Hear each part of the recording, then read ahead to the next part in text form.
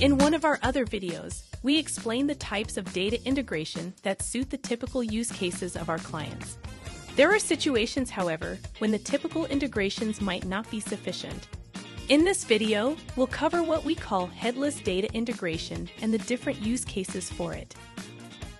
Headless data integration allows you to build your own data products on top of the unified Dataddo API.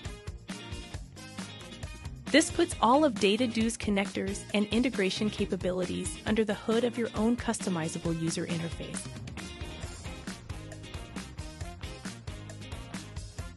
This way, you can focus on developing the core functionality of your products while we handle all integration related work, like API change management, pipeline maintenance, and scalability issues. Plus, we'll build any new connectors you need for free. Headless data integration could be a good fit for your company if you build and manage multiple data products for clients. You need to shorten the time to market for a consumer data product.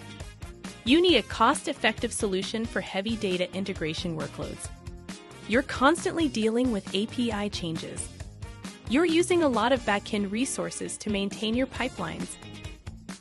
If you're interested in more information on headless data integration, our team will be happy to speak with you. Thanks for joining us today. Be sure to check out our website at Academy, dataddo.com for more courses and videos.